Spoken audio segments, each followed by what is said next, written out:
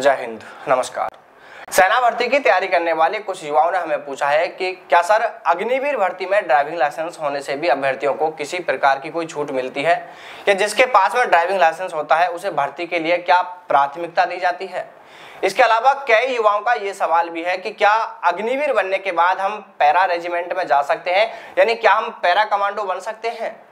अग्निवीर में चयनित होने के बाद ही पैरा कमांडो का चयन किया जाता है, या फिर पहले अग्निवीर के चार साल पूरे करने होंगे। इसके बाद पैरा कमांडो के लिए चयन किया जाएगा। अगर कोई पैरा कमांडो बनना चाहे तो इसके लिए कौन कौन से टेस्ट होते हैं? फ़िज़िकल टेस्ट में क्या क्या होता है? कितनी दौड़ लगानी होती है? कितने समय में करनी होती है दौड़ पूरी? फ़िज़िकल फिटनेस टेस्ट में और क्या क्या होते हैं? देखिए दोस्तों, ऐसी ही कई और जानकारी आपको इस वीडियो में मिलने वाली है, इसलिए सभी दोस्त आज इस वीडियो को पूरा ज़रूर देखें। और देखिए दोस्तों, वीडियो को शुरू करने से पहले आप सभी से यार एक छोटी सी रिक्वेस्ट और करना चाहेंगे कि आप हमारे दूसरे चैनल हमें टेक्निकल को थोड़ा सपोर्ट कर दीजिए। यार, चैनल को सब्सक्राइब कर दीजिए और देखिए इसी चैनल पर आपके लिए एक बहुत अच्छी वीडियो भी आपको देखने को मिलेगी। देखिए, यहाँ पर आप इस वीडियो को देखिएगा। इस वीडियो में हमने आपको बताया कि अग्निवीर 2024 भर्ती को लेकर वो 10 बड़े नियम जो आपको जानना बेहद ज़रूरी है। तो इसलिए एक साथ दो काम हो जाएँगे। एक तो आप हमें थोड़ा सपोर्ट कर देंगे और आपको उन दस नियमों की जानकारी भी हो जाएगी।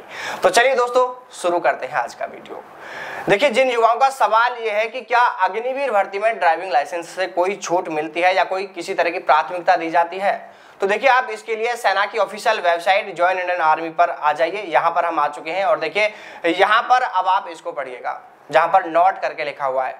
देखिए, यहाँ पर लिखा हुआ है candidate with valid light motor vehicle L M V driving licence will be given preference for driver requirements यानी कि जिस किसी अभ्यर्थी के पास में ड्राइविंग लाइसेंस है, उन्हें ड्राइवर की पोस्ट के लिए सेना भर्ती में, अग्निवीर भर्ती में प्राथमिकता दी जाएगी। अब देखिए, आप इसे ऐसे भी समझ सकते हैं कि मान लीजिए ट्रेडमैन में 100 पदों पर भर्ती होनी है और एग्ज़ाम में 500 युवा बैठे हैं, जिसमें से पिचानवे पदों पर तो सिलेक्शन आसानी से हो गया, लेकिन पाँच पोस्ट अब ऐसी बची हैं जिन पर सिलेक्शन के लिए आठ से दस बच्चे ऐसे आकर अटक गए हैं कि जिनके नंबर भी बराबर जैसे आ रहे हैं।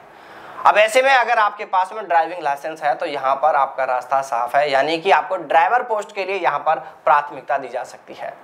यानी ऐसी स्थिति में यहाँ पर आपको इसका लाभ मिल सकता है, प्राथमिकता दी जा सकती है, जिससे कि आपका सिलेक्शन हो सकता है। बाकी के लिए जो भी दूसरे नियम कायदे होंगे, वहाँ पर वो और नियम कायदे लागू किए जाएँगे। अब बात करें कि अग्निवीर पैरा कमांडो कैसे बन सकते हैं।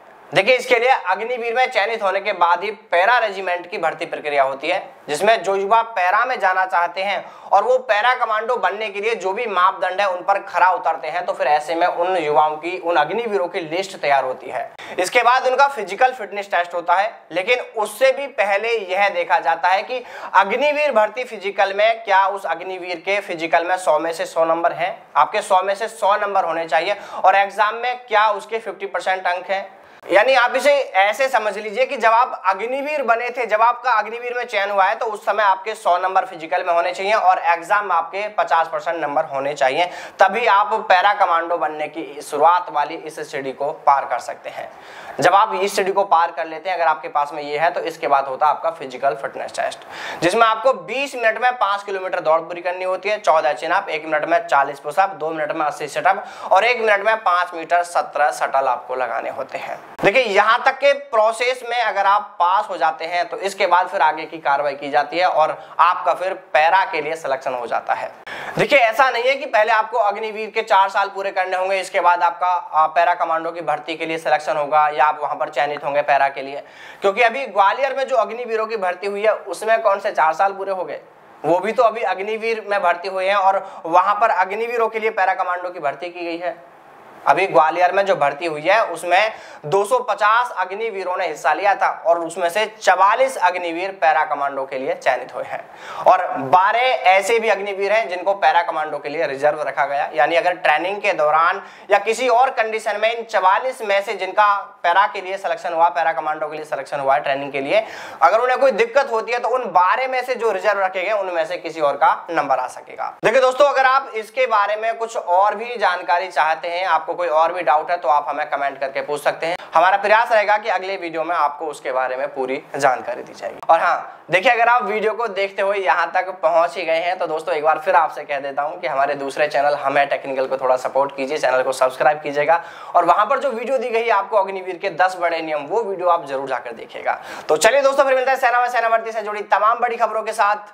तब तक सावधान रहें, दलालों से दूर रहें।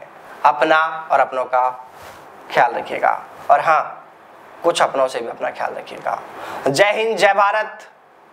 वंदे मातरम।